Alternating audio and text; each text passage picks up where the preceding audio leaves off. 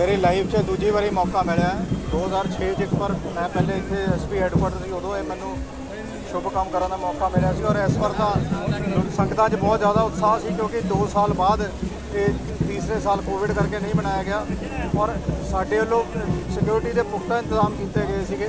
ਕਿਤੋਂ ਵੀ ਕੋਈ ਮੰਦਭਾਵਨੀ ਘਟਨਾ ਹਜੇ ਤੱਕ ਵਾਹਿਗੁਰੂ ਦੀ ਕਿਰਪਾ ਨਾਲ ਕੋਈ ਨਹੀਂ ਸੁਣਨ ਨੂੰ ਮਿਲੀ।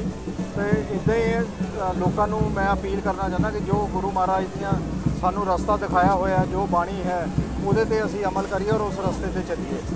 ਤੁਹਾਡੇ ਵੱਲੋਂ ਪਰ- ਸਲਾਮੀ ਵੀ ਜ਼ਿੰਦਗੀ ਬੜਾ ਵਧੀਆ ਦੇਖਿਆ ਗਿਆ ਕਿ ਦੱਸੋ ਇਹ ਇਹ ਸ਼ੁਰੂ ਤੋਂ ਹੀ ਜਦੋਂ ਦਾ ਵਿਆਹ ਪੂਰਵ ਮਨਾਇਆ ਜਾਂਦਾ ਇਹ ਸ਼ੁਰੂ ਤੋਂ ਇੱਕ ਰਵਾਇਤ ਬਣੀ ਹੋਈ ਹੈ ਕਿ ਜਦੋਂ ਇਹ ਐਸਐਸਪੀ ਆਫਿਸ ਦੇ ਅੱਗੋਂ ਦੀ ਨਿਕਲਦੀ ਹੈ ਤਾਂ ਪੁਲਿਸ ਵੱਲੋਂ ਇਹ ਸਲਾਮੀ ਦਿੱਤੀ ਜਾਂਦੀ ਹੈ। ਦੇਖੋ, ਇਹ ਅੱਜ ਬਹੁਤ ਕਰਮਾਂ ਵਾਲਾ ਦਿਨ ਹੈ ਵੀ ਗੁਰੂ ਨਾਨਕ ਦੇਵ ਜੀ ਅੱਜ ਬਟਾਲੇ ਵਿਆਹ ਕੇ ਵਿਆਹ ਲਈ ਆਏ ਔਰ ਹਰ ਪਿਆਰ ਕਰਨ ਵਾਲਾ ਜਿਹੜੇ ਬਾਬਾ ਨਾਨਕ ਨੂੰ ਸਾਰਿਆਂ ਨੂੰ ਪਿਆਰ ਕਰਦੇ ਨੇ, ਉਹ ਅੱਜ ਉਹਨਾਂ ਸ਼ਰਧਾ ਦੇ ਲਈ, ਅੱਜ ਮੱਥਾ ਟੇਕਣ ਲਈ, ਆਪਣੀਆਂ ਮੁਰਾਦਾਂ ਪੂਰੀਆਂ ਕਰਨ ਲਈ, ਉਹ ਸਾਰੇ ਆਉਂਦੇ ਨੇ, ਨਤਮਸਤਕ ਹੁੰਦੇ ਆ। ਮੇਰੇ ਕੋਲ ਕੋਈ ਲਫ਼ਜ਼ ਨਹੀਂ ਵੀ ਮੈਂ ਕਿੱਦਾਂ ਬਿਆਨ ਕਰਾਂ, ਹਰ ਸਾਲ ਦੀ ਤਰ੍ਹਾਂ ਅਸੀਂ ਇੱਥੇ ਆਨੇ ਆ ਔਰ ਗੁਰੂ ਮਹਾਰਾਜ ਦੇ ਚਰਨਾਂ 'ਚ ਅਰਦਾਸ ਕਰਦੇ ਆ ਤੇ ਚੜ੍ਹਦੀ ਕਲਾ ਸਰਬੱਤ ਦੇ ਭਲੇ ਲਈ ਹਮੇਸ਼ਾ ਅਰਦਾਸ ਕਰਦੇ ਮਤਲਬ ਪਿਛਲੇ ਸਾਲ ਕੋਰੋਨਾ ਦੀ ਵਜ੍ਹਾ ਕਰਕੇ ਨਹੀਂ ਮਨਾਇਆ ਗਿਆ। ਇਸ ਵਾਰ ਸੰਗਤ 'ਚ ਵੀ ਘੱਟ ਜ਼ਿਆਦਾ ਦੇਖਣ ਨੂੰ ਮਿਲ ਰਿਹਾ ਕਿਵੇਂ ਦੇਖਦੇ ਹੋ ਦੇਖੋ ਇਹ ਤੇ ਕਰੋਨਾ ਤੇ ਇੱਕ ਐਸੀ ਬਿਮਾਰੀ ਸੀ ਜਿਹਨੇ ਵਰਲਡ ਓਵਰ ਹਰ ਬੰਦੇ ਨੇ ਉਹਦੀ ਪ੍ਰੀਕਾਸ਼ਨ ਲਈ ਹੈ ਔਰ ਸਾਡਾ ਫਰਜ਼ ਵੀ ਇਹੀ ਬਣਦਾ ਸੀ।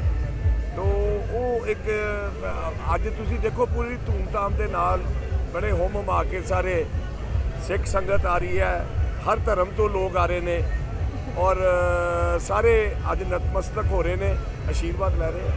ਕਾਫੀ ਚਰਚਾ ਸੀ ਕਿ ਅੱਜ ਜ਼ਿਲ੍ਹਾ ਵੀ ਅਨਾਉਂਸ ਕਰ ਦਿੱਤਾ ਜਾਏਗਾ ਬਟਾਲਾ ਪਰ ਹੋਇਆ ਨਹੀਂ ਹਜੇ ਤੱਕ। ਦੇਖੋ ਇਹ ਕਿਸੇ ਦੇ ਵੱਸ ਨਹੀਂ ਹੈ। ਇਹ ਮੁੱਖ ਮੰਤਰੀ ਪੰਜਾਬ ਹੋਰਾਂ ਨੇ ਇਹਦਾ ਡਿਸੀਜਨ ਲੈਣਾ ਜ਼ਿਲ੍ਹਾ ਬਣਾਉਣਾ ਛੋਟੇ ਛੋਟੇ ਟੁਕੜੇ ਕਰਨੇ ਇਹ ਸਾਰਾ ਜੋ ਹੈਗਾ ਸਾਰਾ ਸਿਸਟਮ ਇਹ ਮੁੱਖ ਮੰਤਰੀ ਸਾਹਿਬ ਨੇ ਵੇਖਣਾ ਔਰ ਉਹਨਾਂ ਨੇ ਹੀ ਜ਼ਿਲ੍ਹਾ ਇਸ ਨੂੰ ਅਨਾਉਂਸ ਕਰਨਾ ਜਦੋਂ ਵੀ।